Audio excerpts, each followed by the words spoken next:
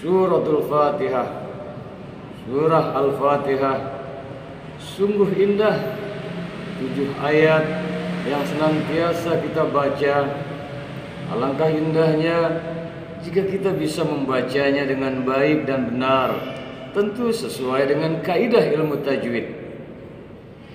Bismillahirrahmanirrahim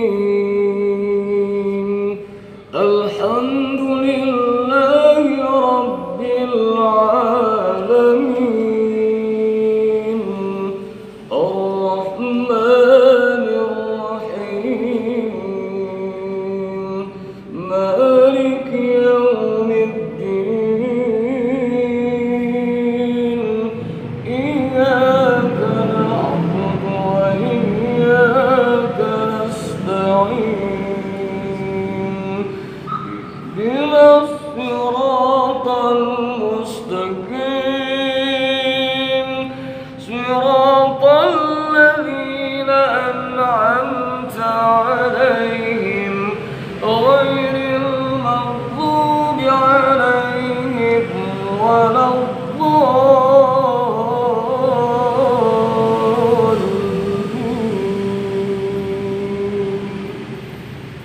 Apa indah suratul Fatihah Terlebih jika kita memahami akan makna yang terkandung Bismillahirrahmanirrahim.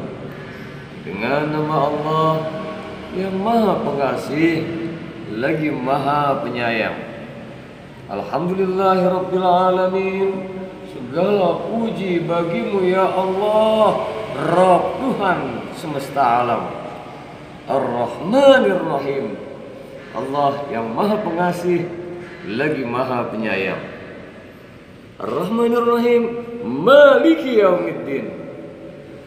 Allah Raja Penguasa di hari pembalasan.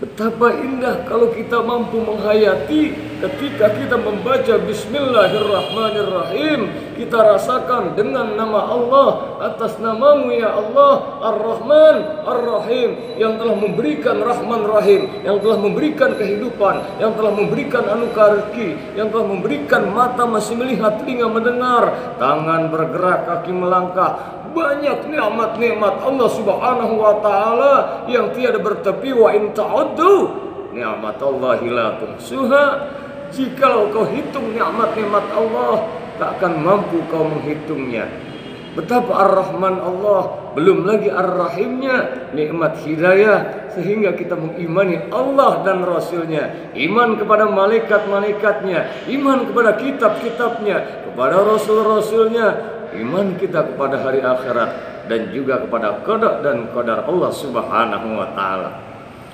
Begitu luas makna hakikat daripada bismillahirrahmanirrahim jika menghujam makna ar-Rahman ar-Rahim ketika kita memujinya. Alhamdulillahi rabbil alamin.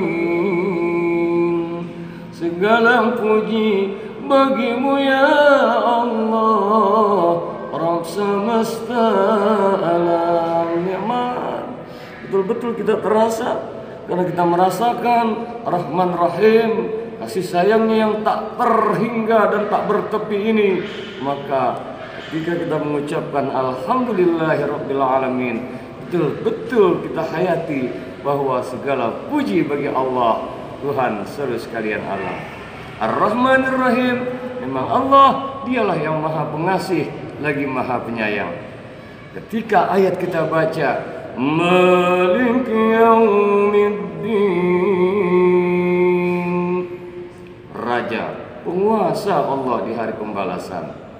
Seolah Rahman Rahimnya yang Allah berikan Kita sudah memujinya. Memang Allah Ar-Rahman Ar-Rahim yang pengasih dan maha penyayang. Maka ingat Maliki Yaumiddin. Allah Raja penguasa di hari pembalasan. Artinya gunakan potensi karunia yang diberikan oleh Allah Subhanahu wa taala Rahman Rahimnya. Ingat nanti ada pertanggungjawabannya. Ingat nanti di hari pembalasan Allah raja penguasa di hari pembalasan karenanya iyyaka na'budu wa iyyaka Hanya kepadamu ya Allah kami menyembah dan hanya kepadamu kami mohon pertolongan. Yang kasih sayang Allah, yang kita puji Allah, Ar-Rahman Ar-Rahim. Memang Allah sudah berikan pada kita. Kita ingat nanti ada hari pembalasan. Komitmen kita, iyyaka na'budu wa iyyaka nasta'in. Hanya kepadamu ya Allah menyembah dan hanya kepadamu kami mohon pertolongan.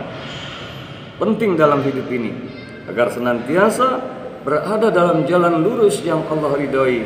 Itulah kita memohon Ihdinas siratal mustaqim Tunjukilah kami senantiasa pada jalanmu yang lurus Karena boleh jadi malam beriman besok sudah ingkar Pagi siang masih iman namun malam kadang kita sudah berpaling jauh dari Allah Kita mohon ihdinas siratal mustaqim Tunjukilah kami senantiasa berada pada jalanmu yang lurus. Siratal ladzina an'amta alaihim. Apa itu jalan yang lurus? Siratal ladzina an'amta alaihim. Jalan.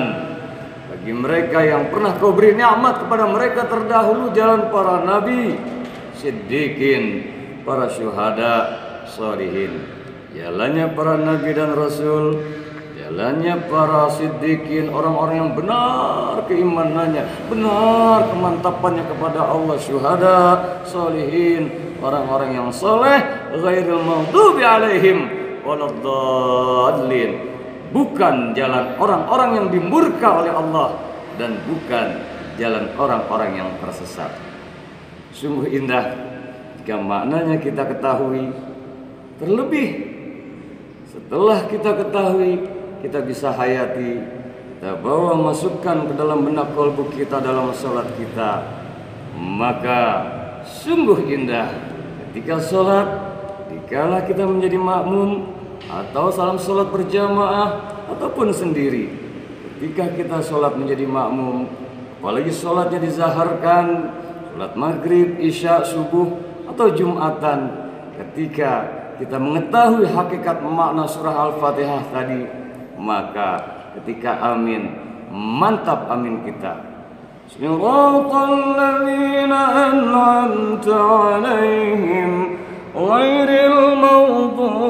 maghdubi 'alaihim waladdallin. Amin. Kabulkan, perkenankan. Surat Al-Fatihah yang sama sudah kita hafal, kita kembangkan lagi, kita perdalam lagi, kita upayakan paham akan maknanya, hayati, amalkan, bawa dalam sholat kita sehingga akan menjadikan kehusyuan sholat kita kita peroleh rahmat berkah ridhonya insya Allah akan kita gapai dan kita menjadi hamba-hamba yang istiqomah jalan Allah Subhanahu wa taala. Amin ya rabbal alamin. Tiada hari tanpa pencerahan hati. Cerahkan hati kita dengan senantiasa membaca suratul Fatihah, Ummul Quran, Ummul Kitab. Insya Allah Allah rahmati, Allah mudahkan dan Allah jadikan ridho atas jalan yang kita tempuh. Dinas siratal mustaqim. Wallahul muwaffiq ila aqwamit. Assalamualaikum warahmatullahi wabarakatuh.